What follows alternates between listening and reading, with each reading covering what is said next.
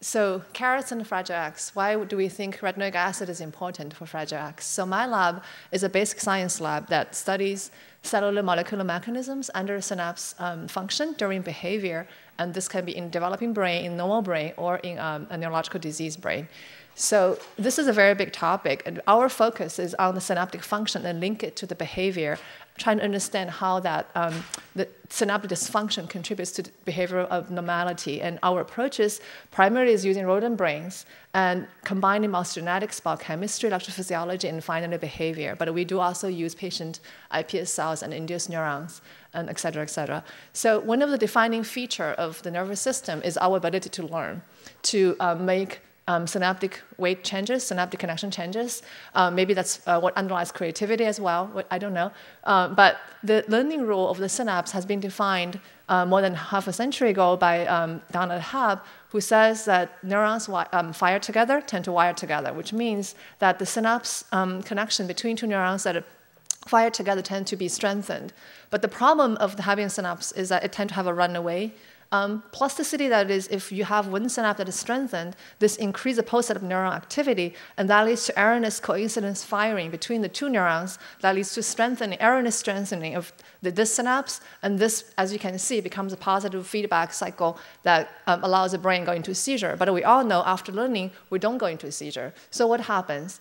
There is a, therefore, there is you know, the, the need for a, another adaptive plasticity is called homeostatic synaptic plasticity that allows the synapse, synaptic strengths to be adapted back to a normal state where um, um, the relative strength between synapses, which is the cellular memory, is still preserved. As you can see from here to here, the global synaptic strength is reduced. And this works in the reverse way as well. When you have neurons don't fire together where their synaptic connection is weakened, you can also increase globally the synaptic strength homeostatically to balance out overall activity. So in other words, decreased synaptic activity can lead to increased synaptic strengths globally. And we believe that synaptic retinoic acid signaling actually mediates this particular um, type of plasticity. Now, we're all familiar with retinoic acid because it's a developmental morphogen and it plays an important role in, in uh, developmental brain patterning. Um, so work from my lab recently discovered, based on the um, hints that we got from the literature that retinoic acid may be playing a role in um, adult brain, we actually found that it regulates synaptic transmission, both excitatory and inhibitory transmission in the brain, in various parts of the brain, not just in the cortex, uh, not just in the hippocampus anymore. And also RA acts in a very unconventional way that does not utilize its transcription-dependent method.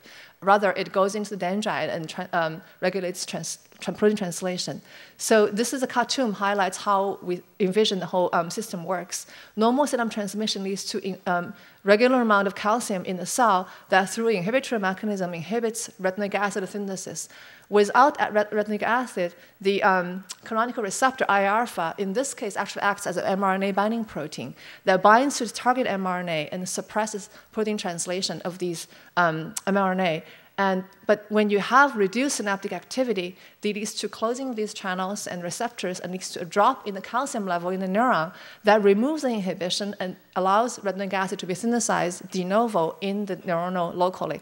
Um, this newly synthesized RA um, then goes to the RAR alpha, binds to it, changes conformation, falls off from the messenger RNA, allows protein translation to happen, and one of these substrate is actually AMPA receptor subunit, one of the glutamate receptors. So these receptors get inserted into the synapse to compensate for the lack of activity.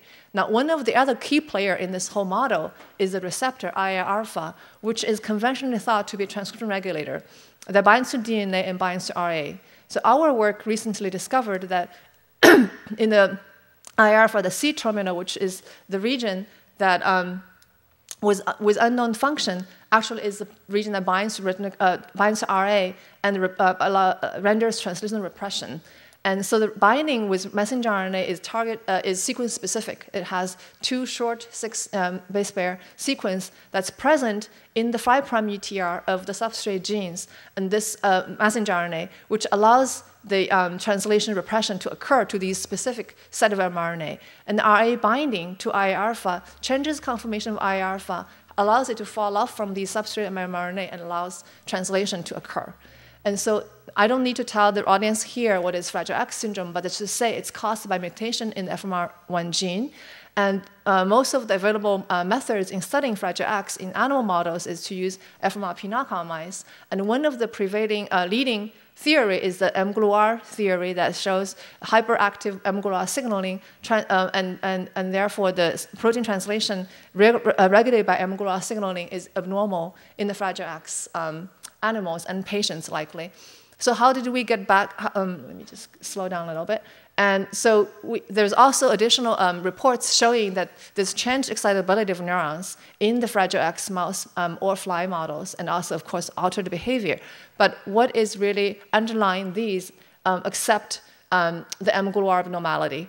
So how did we come across um, Fragile X? Well, in our study in RA-dependent protein translation in neuronal dendrites, we looked at local protein synthesis in neuronal dendrites in this structure called RNA granules, where we actually see with retinoic acid stimulation within 10 minutes, you see rapid increase in the synthesis of the AMPA receptor subunit GLUR1 protein. But in these RNA granules, we also see numerous amount of FMRP particles, FMRP proteins, labeled with these five nanometer um, gold particles that are very small to see, but I'm highlighting them with re these red arrows. So um, so what is FMRP doing in there? So one of the things we did was to look at in the FMRP knockout neurons whether RA synthesis is still normal. So without describing the details, we use a reporter that expresses GFP under the control of RA. So if you have more RA in the neuron, more GFP is expressed. And we show that in these FMRP um, in these FMRP knockout neurons, the synthesis of retinoic acid is actually absolutely normal. They respond to activity blockade. These are drugs that blocks neuronal synaptic activity, allows the activity to shut down. And in normal neurons, there's uh, increasing RA synthesis, and so does the, um, the Fragile X neurons. But what's really abnormal is that in, in the wild type neurons, when you block synaptic activity um, for a, a day or two, um, you see a robust rebound of the synaptic response, compensation. This is what we call homeostatic synaptic plasticity.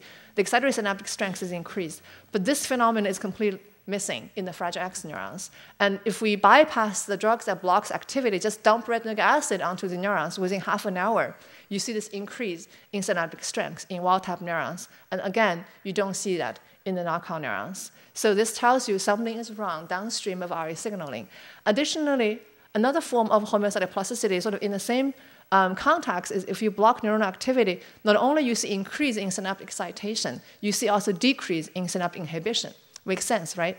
And this can be reproduced in culture by blocking activity or um, applying retinoic acid directly for half an hour. But both downregulation of synaptic inhibition, shown here, are also missing from the Fragile X knockout mice. So so this is my summary of what the, um, the very basic phenomenon is. This is a neuron that receives inhibitory and excitatory input. Some synapses are weaker than others, and decreased activities to engaging synaptic RA signaling that leads to enhancing the excitatory synapses as, as well as weakening of the inhibitory synapses. And both process, processes seem to require FMRP action.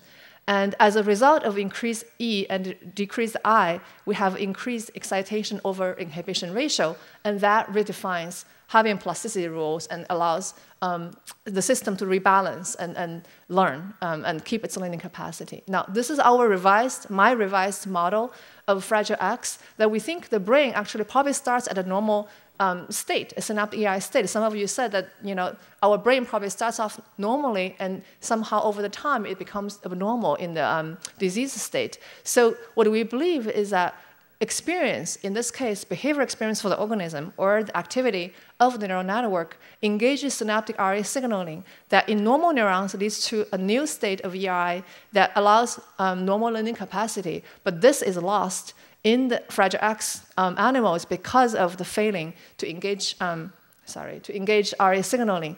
And now we know that gene therapy is still a long way to go, so we can't really put the FMRP back to the patient's brain, but we can probably intervene from here by um, bringing the aberrant synaptic EI state back to the normal state, use um, um, chemicals and drugs, and allows the learning capacity to be restored.